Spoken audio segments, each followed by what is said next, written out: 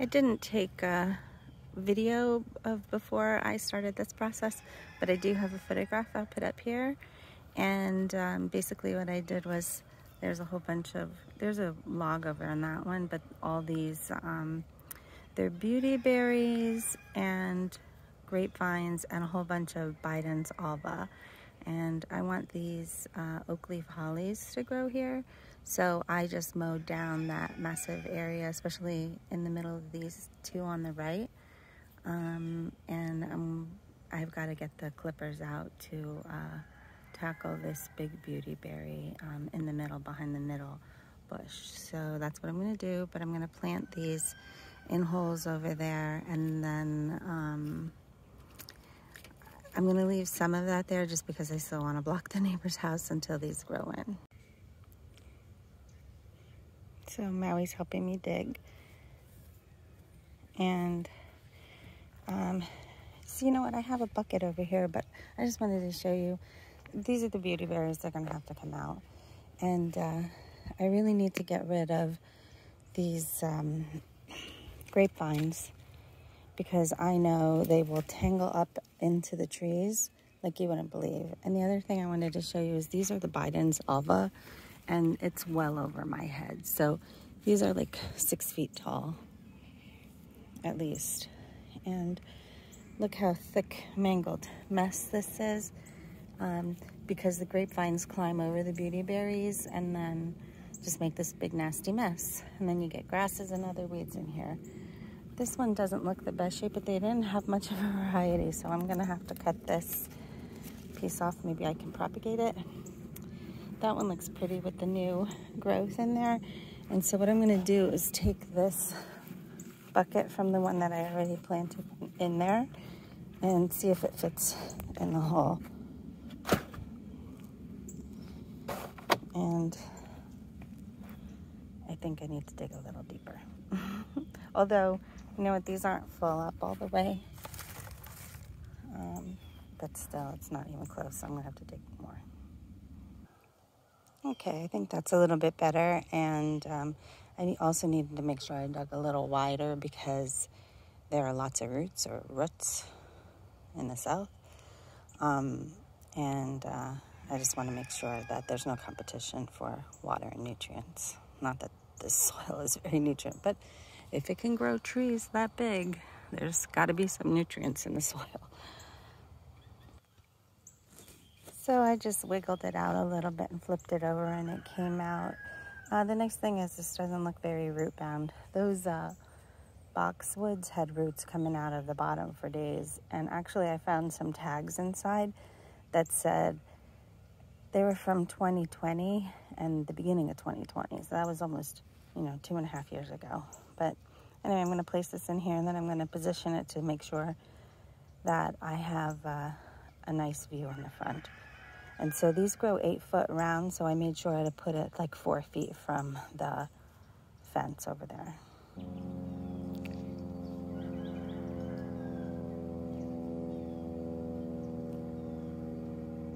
All right, so maybe I dug it a little too deep. I think uh, I'm gonna put the green side in the front, but um, I'm gonna take it out for a second, just throw, toss a little bit more dirt in, and then put it back so that it's above grade. All right, that looks better, and I'll just level off the soil that I dug out. I had to bust out the handy dandy chainsaw uh, because this is a monstrosity and that's the only way I'm going to be able to get through it. All right, so when you have the right tools, things get a lot easier. Like mowing this with the lawnmower. I now have a bush hog, but the lawnmower worked fine. It was really a lot of just grass and weeds. But this one was the bad one. So now I have to try to pull all this out. We'll be right back. Well, this is a big part of that monstrosity over here. And then I just have to chainsaw a little bit more and then get the lawnmower up on top of this. Then I'll be able to plant this beauty. And there it is. I didn't water it yet. There's the first one by Maui. This is the second one, and there's the third one. And this is the pile of jungle. And so those will grow eight feet around.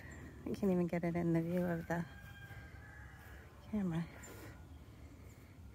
And supposedly 12 feet to 14 feet tall. Probably, I don't know. I would they say columnar, but maybe pyramidal, but I'm thinking more gumdrop. Uh, we'll see. And so here you can see a better view and uh, I'll trim them up so they uh, try to stay uh, columnar because I really want that evergreen, say, Christmas tree look.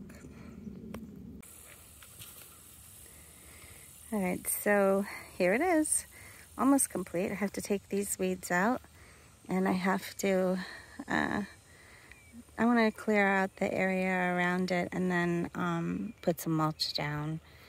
And I'm thinking over there getting a couple more panels, maybe three more panels of fencing, maybe four, and then getting some Arizona cypress and putting that in there.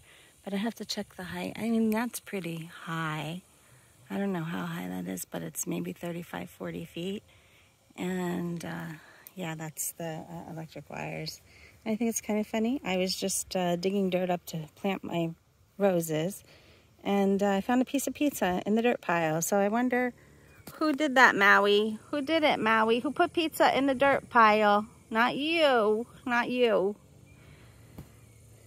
All in all, I love this. And I know you have to be patient, but it just seems like I want them to grow in already because now I see that neighbor's house more than I did before, which I really, the goal was to get it to be less, but ultimately it will be. So I uh, hope you like this project. I'll show it, uh, show you the final version once I get the mulch put down.